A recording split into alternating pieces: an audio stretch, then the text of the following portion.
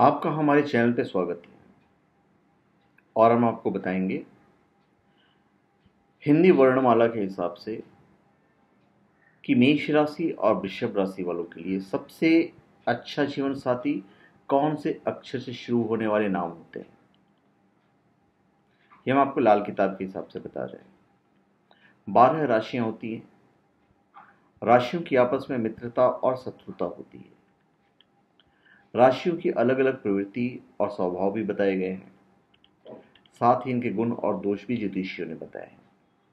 तो इन सभी के आधार पर हम आपको बताने जा रहे हैं कि मेष राशि और वृषभ राशि, इन दोनों के लिए कौन से अक्षर वाले, हिंदी वाले अक्षर, उनको सबसे ज़्यादा सुटेबल होगा? तो मेष राशि की बात करते हैं।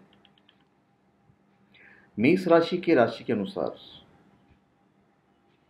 इनका जीवन साथी जो होगा, जीवन साथी, उनका नाम र, त, भ या ध।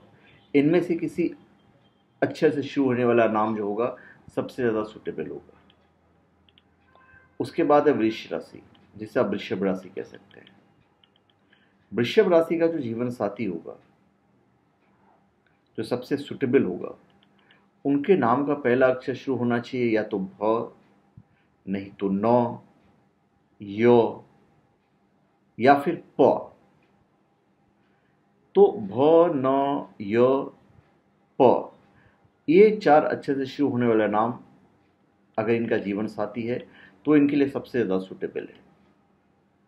तो धन्यवाद आपका हमारे चैनल पे स्वागत है।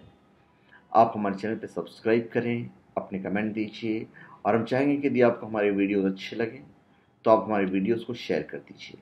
धन्यवाद।